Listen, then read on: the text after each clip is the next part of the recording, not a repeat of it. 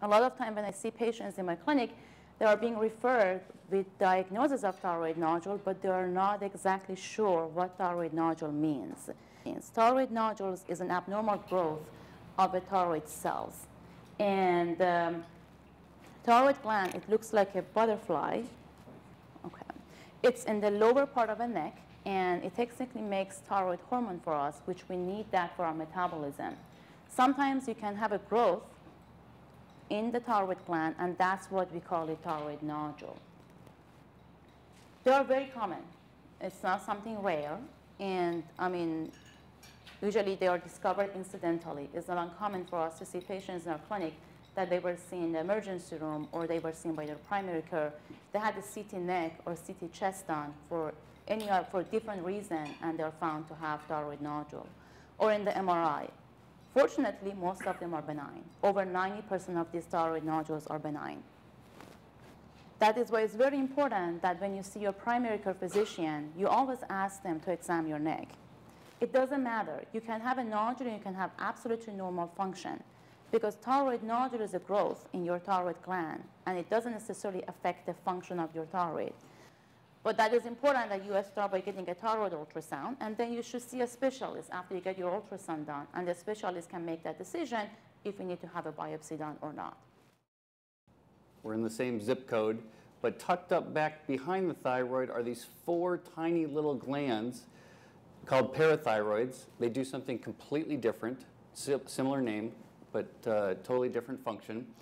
And if you imagine that this is now pulled off the windpipe or the trachea and you can see the thyroid from the back side, that's where these little guys live. So the, the next question is, what do they do? Parathyroid glands are constantly, and they're doing this minute to minute. You never have to think about it. They've been doing it your whole life. And they're constantly measuring the amount of calcium in your blood, and then they respond to that and the main way they respond to this is by making a hormone called parathyroid hormone. And that hormone helps you regulate your calcium level. Proper calcium balance, or a very normal range of calcium in your body, is crucial to the functioning of your heart, your nervous system, and your kidneys, as well as your bone density.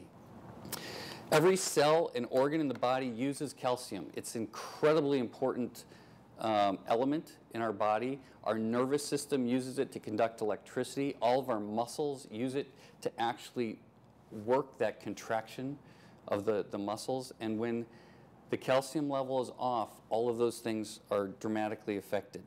And so how is it cured? So parathyroid surgery is the only known cure for this. Again, after successful surgery, Bone density improves by as much as 8 to 12 percent, and the risk of fracture significantly decreases.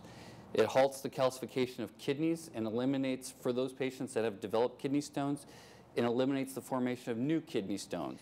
And again, when you look at really those patients that have all these symptoms and you give them very extensive questionnaires, 80 to 95 percent of patients asked the questions before surgery and six months after surgery noticed dramatic improvement in a lot of these symptoms, especially with the bone aches and the memory fogginess and the fatigue.